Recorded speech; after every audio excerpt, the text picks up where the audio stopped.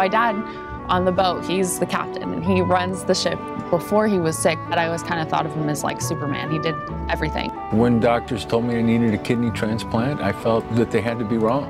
My daughter uh, had the strength to step up and become my kidney donor, or I wouldn't be alive.